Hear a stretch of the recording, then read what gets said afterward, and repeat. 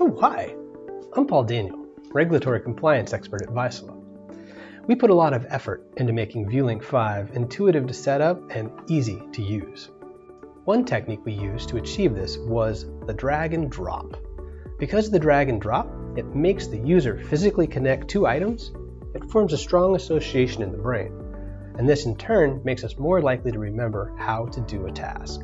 I'd like to share three cool ways that we've used the drag and drop in viewLinc 5. When we first set up viewLinc 5, we need to connect the incoming data recorded by a physical sensor to a virtual location. Even though this sensor might get replaced over the years, the data will always be connected to the same virtual location.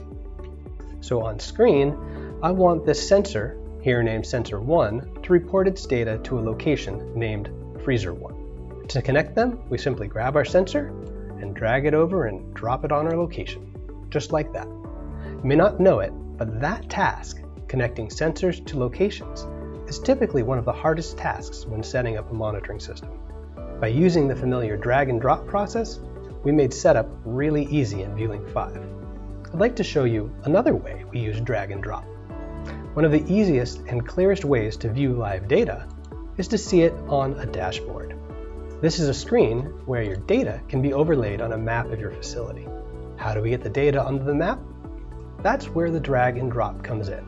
Simply grab Freezer 1 and drag it to its location on the map. Click Save. Drag and drop makes it easy and intuitive. We also put this technique to use for trend analysis. Let's say we want to collect, uh, to look at historical data that we've collected from Freezer 1.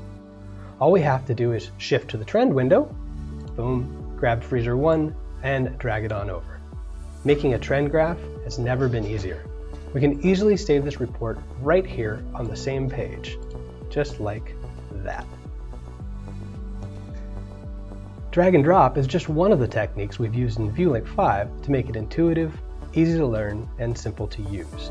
Each of the drag and drop tasks I shared with you, they can all be performed and learned by taking an interactive tour which teaches you by guiding you through the task. Just open the Tours menu in the upper right hand corner to get started. We weren't joking when we call viewLinc 5 a system that virtually deploys itself. If you like this video and want more viewLinc tips, you can click the link here to see our other videos. If you want to get more contact from Vaisala, you can interact with us on our viewLinc blog.